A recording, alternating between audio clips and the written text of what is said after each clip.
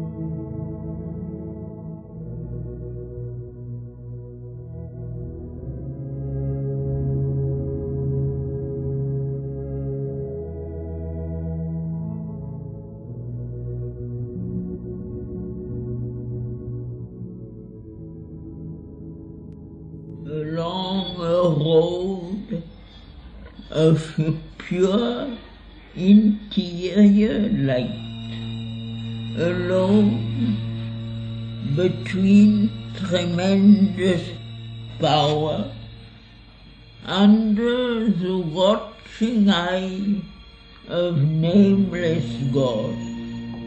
His soul passed on a single conscious power the source of all things, human and divine. There he beheld in their mighty union voice the figure of the deathless two in one, a single being in two bodies clasped, a diarchy of two united souls, seated, absorbed in deep creative joy. Behind them, in a morning dusk, one stood who brought them forth from the unknowable.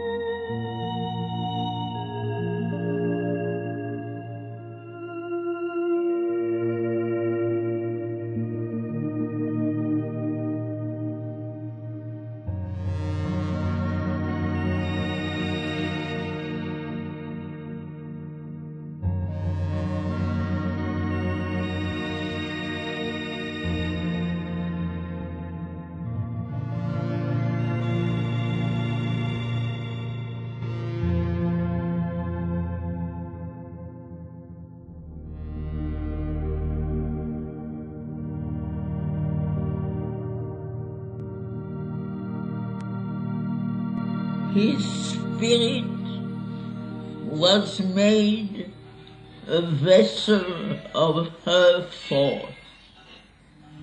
Mute in the fathomless passion of his will, he outstretched to her his folded hands of prayer.